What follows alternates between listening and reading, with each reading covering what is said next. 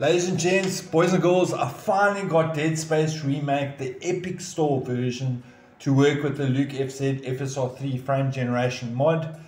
Um, first and foremost, what you're going to need to do is go find your Dead Space Remake on your hard drive. So for me, it's over here. And then all the files starting with SL, so SL Common all the way through to SL Reflex. Just go ahead and delete that. Then we're going to be using a quite an old version of the mod.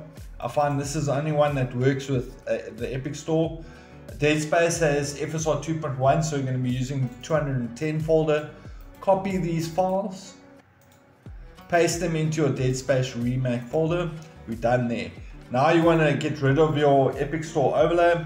So go to C drive, program files, x86, Epic Store, launcher, portal, extras, overlay, delete anything in this folder.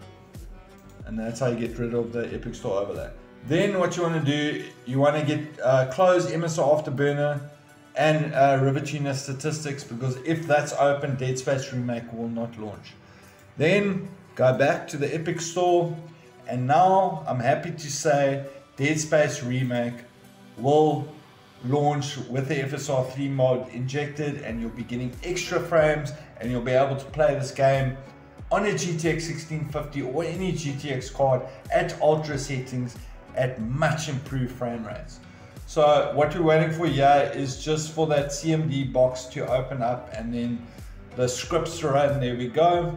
And so the, the FSR mod is loading into the game or, or hooking into the game.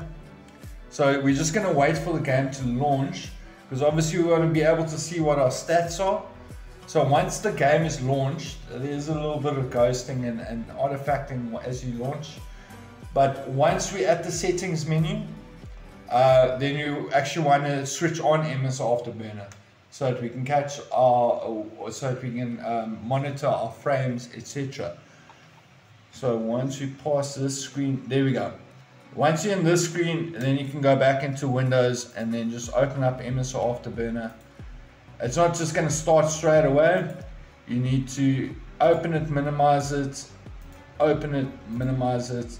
Same with RivaTuner, open it, minimize it, open. So my OBS crashed when I did that little trick to get MSI Afterburner working. So just to reiterate, guys, my settings are uh, I am on a GTX 1650 laptop. Generally, I play on FSR 2 um, low or medium, and I get 30 to 50, F, uh, yeah, 30 to 50 FPS.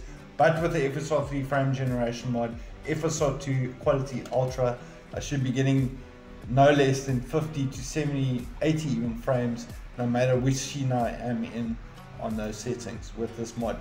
So let's just load into any old scene over here. And what you're going to see is the game looks so much nicer and runs so much smoother. Um, I'm sure high-end cards will see a nice little bump from this, but for low-end cards, I actually think this is probably the best result because my game feels so much smoother, it runs much better, and it looks incredible. So there we have it.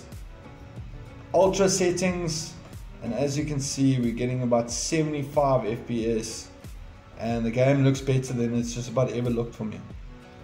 So there are some uh, uh, traversal stutters when you load into the scene. As you can see there's a bit of a drop there.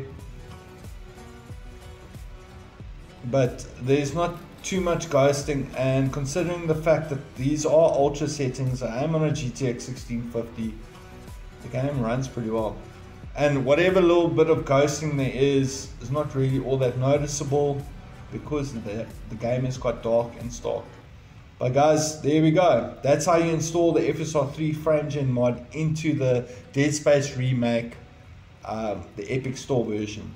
Or should I say the shit store version. Anyways guys I hope this video has helped. Have a good night. People like you. Cheers